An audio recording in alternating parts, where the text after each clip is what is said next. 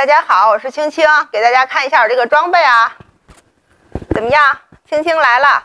然后呢，这个包呢，到时候就会放我的自拍杆、三脚架，还有啊拍摄的东西。来，大家看看后面啊，看得到吗？怎么样？我这装备是不是有点专业范了？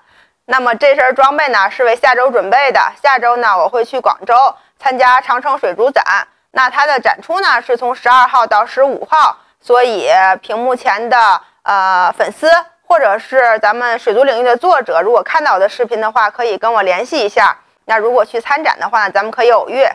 给大家做一个预告吧。其实我是刚刚从外面回来，今天上午呢，找到了我们天津本市的一个特别传统的金鱼养殖户。嗯，他养了天津老版的这个红头虎头，还有五花珍珠，嗯，几近绝版吧，真的是市面上很难见到了。就是这个线索特别好。他们家呢，其实就在一个平房里面养鱼，然后房顶上面建着养鱼池，嗯，拍摄了好多特别特别好看、特别有趣的素材。那我尽快吧，给大家做出来吧。这两天可能比较忙，明天呢，于大爷说要把盆儿搬到屋里去，呃，明天上午我去帮忙去，顺便给大家拍个视频。那么还有呢，其实我拍了一个特别好的锦鲤渔场，那个锦鲤他们的种鱼都是从日本进口的，嗯，他们那个锦鲤池里面鱼也特别漂亮，但是还没有时间做出来。那还拍了我们天津的最大的这个热带鱼的养殖基地，那里边有这个元宝罗汉，有珊瑚，有银龙，就是很多嗯有趣的内容吧，嗯，但是时间有限吧，会陆陆续续的这个剪辑出来。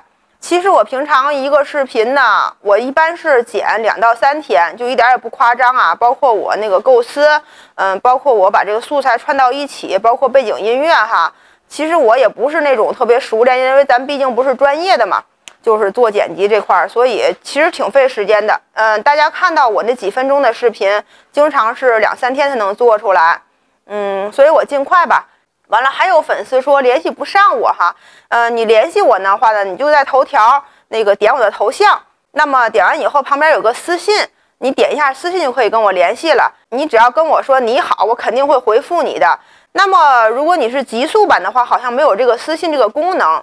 完了，好多人说那个加微啊之类的，就是咱们那个头条的留言这块是禁止那个发任何的电话号码或者是微信号的。嗯，所以希望大家理解，就是还是学习一下，给我给我发私信吧。一般只要发私信，我都会回大家的。嗯，那好吧，嗯，感谢大家观看我的视频吧，再见。